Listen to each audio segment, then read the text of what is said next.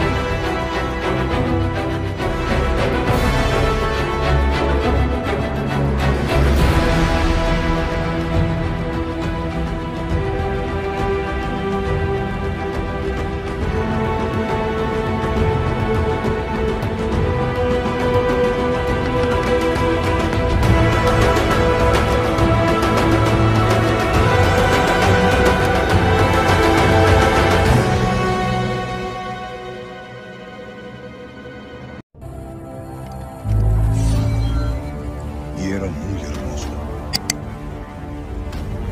Titán era como muchos.